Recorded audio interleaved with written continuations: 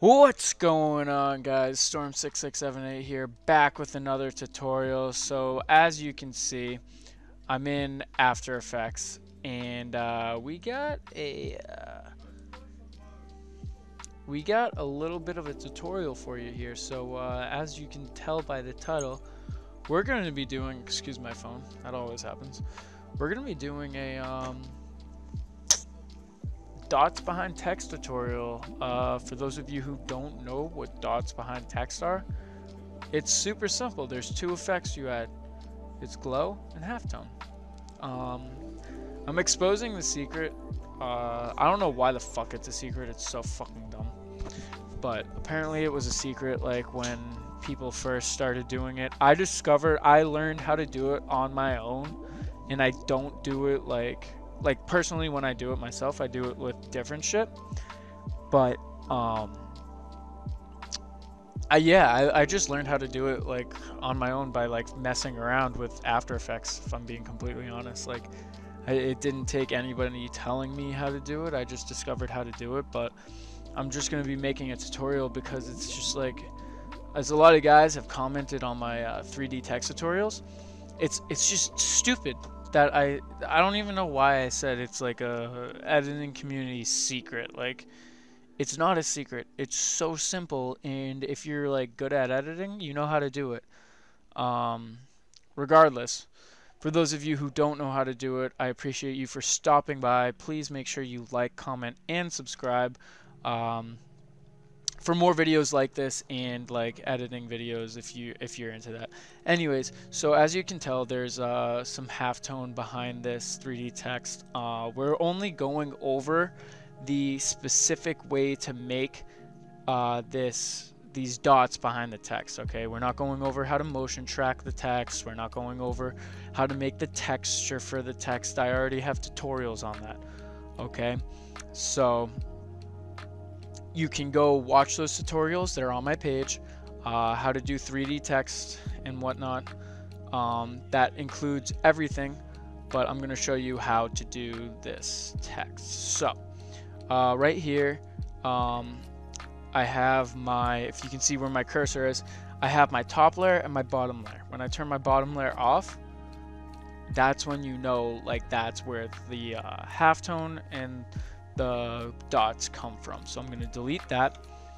And all I have right now is the top layer. So everything's motion tracked, right? Press play, let it render out. And it's a nice smooth cinematic with 3D text, okay? So now what we're going to do is we're going to take this layer. We're going to press Control D on our keyboard. That's D as in Daniel D as in D Denarius, like a D, you know, Dick Cheney.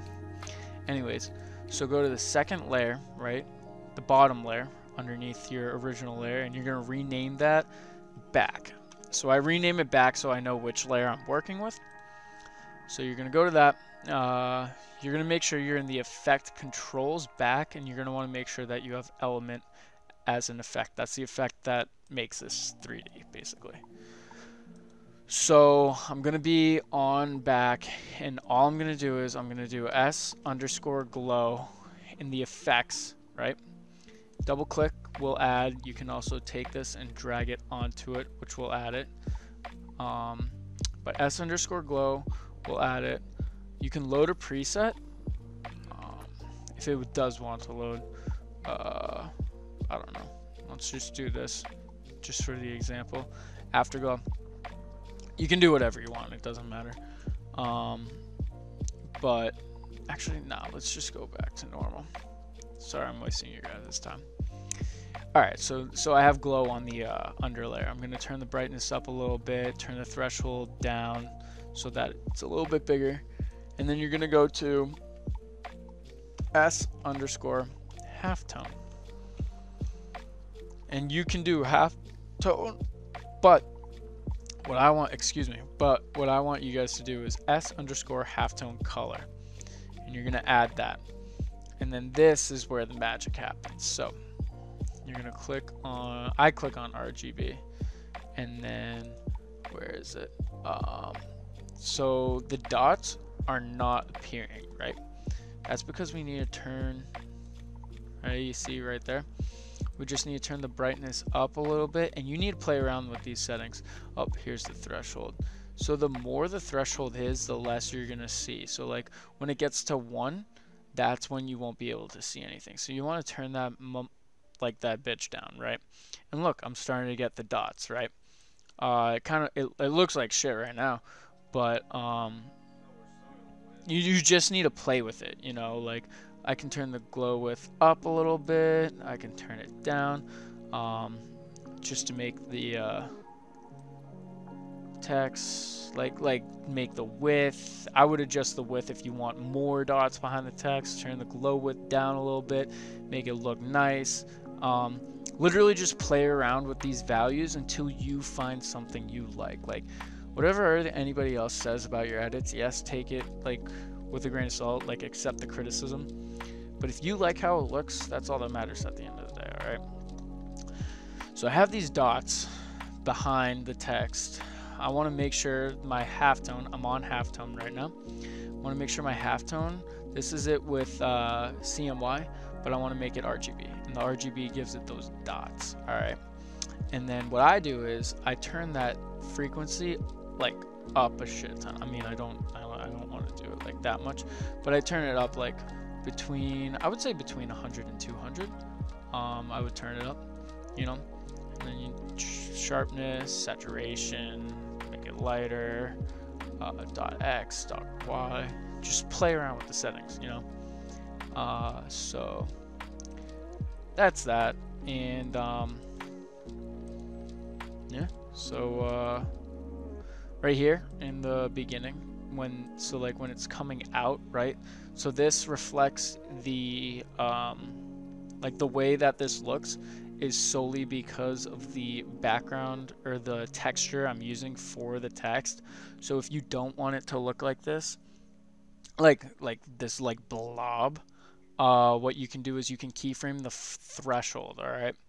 So you want the threshold to get to a certain point at, here, let's see when it looks good. So it looks good there. So I want it to, the threshold to be 0.07 there, but before when it looked like shit, I want the threshold to be bigger, all right? So when the threshold's bigger, you can't see that as much, right? See that? So my threshold is 0.86 now, and I keyframed it. If I uh, open this up, the effects, the S underscore glow, right here is the two keyframes. So when it starts, the key the keyframes like the blotch isn't terrible, and then it gets bigger and bigger, and then you can see more of the dots. All right, it's super subtle with this. Um, I'm gonna turn the threshold up, turn the, and then uh, keyframe the brightness from here to here. Turn the brightness up a little bit. There we go. Maybe turn the threshold down a little bit.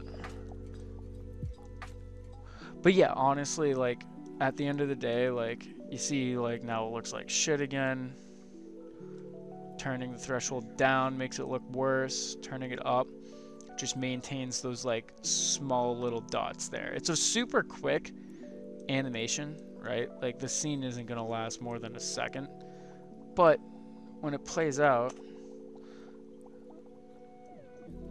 like you'll see the dots you know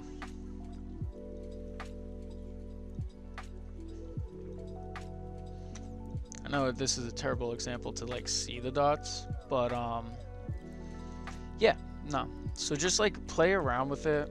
Nothing's gonna be perfect your first time you try it. The more and more you do it, the better at it you'll get. I'm sorry that this clip is kind of like a shitty example. I meant to do a different clip, but um, this is what I pulled up. So I just wanted to, I just wanted to show you guys basically how to do this. Like it's super simple, right? Like I don't know why I like I said no this is a secret. No, it's fucking not a secret. It's literally S underscore glow and S underscore halftone. Halftone color more specifically. Like so simple. And then just keyframe it how you want it to look. Like you see like right here, there's nothing here. So I would take that S underscore glow and I'd keyframe the threshold down, right? So I can actually like see something, you know? And then it would be different like all the way through. But yeah, regardless, uh, S underscore glow, S underscore halftone, uh, play with it however you want, however you see fit based on the texture you use. Like the reason why, if you guys want to know like more specifically why like it kind of looks like shit with the texture that I'm using, is because I'm rotating the world.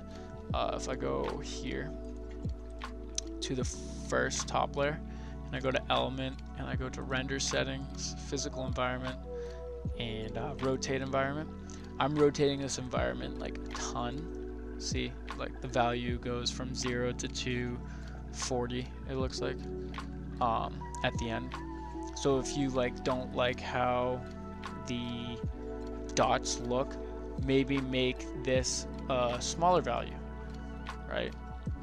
And then it'll last longer in different places and then you play around with the keyframes. It's uh, the main point of this tutorial is explaining that it's 100% up to you and your creativity to make this look how you want. All right. Obviously, I would spend like uh, what it, 11 minutes has passed. Like, I would spend a lot more time on this.